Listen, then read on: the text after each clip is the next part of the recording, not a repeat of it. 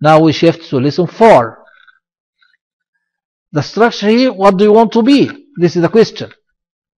I want to be a so and so. How do you say in English? How do you say this word in English? How do you say C-A-R-P-E-N-T-E-R in English? So we say carpenter.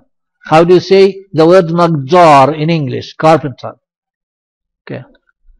Now we are having Nadia. Nadia asks Sami a question. What do you want to be when you grow up, Sami? Sami, I want to be a pilot. What do you want to be, Noha? I want to be a doctor. Hisham, what do you want to be? A football player.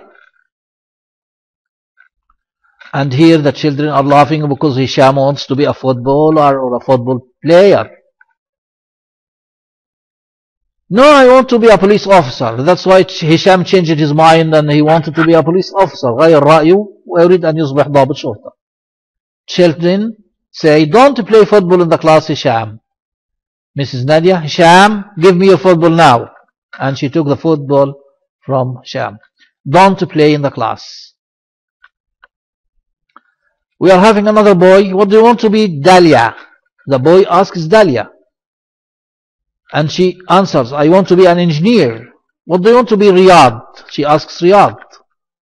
He wants to be Tabib Asnan. What do you say about Tabib Asnan? A dentist. Mrs. Nadia, how do you say Tabib Asnan in English? They ask the teacher. And she say dentist, dentist.